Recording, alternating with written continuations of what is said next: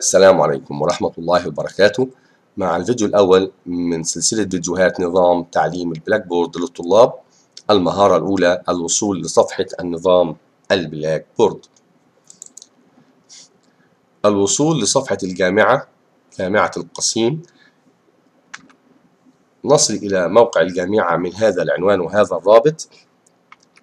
ثم من أسفل صفحة الجامعة لكي ندخل إلى نظام ال Blackboard من موقع الجامعة نتوجه الطالب إلى الطلاب ثم يختار التعلم الإلكتروني وبالضغط على هذه الأيقونة يصل إلى هذه الصفحة واجهة الدخول لنظام ال Blackboard. مع المهارة الثانية والتعرف على كيفية تغيير هذه الواجهة في الفيديو القادم.